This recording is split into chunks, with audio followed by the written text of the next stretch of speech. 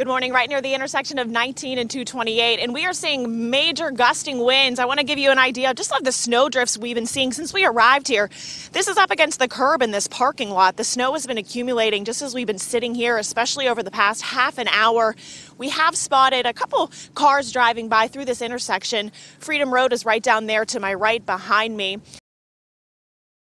picking up, and we also have noticed the drop in temperatures. When we arrived here, I'd say it was mid 30s. It's now dropped down to the low 20s, and it is cold up here in Cranberry. To give you an idea, we left the KDKA newsroom downtown around 3:30. Within about 10 or so minutes, that pouring rain that we were getting around 3:30 turned into sleet, freezing rain. We noticed those balls of ice on our windshield, and then we approached up towards Camp Horne Road around quarter after or quarter to four.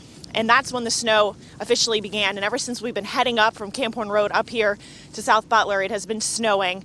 And the snow here in this parking lot has been accumulating.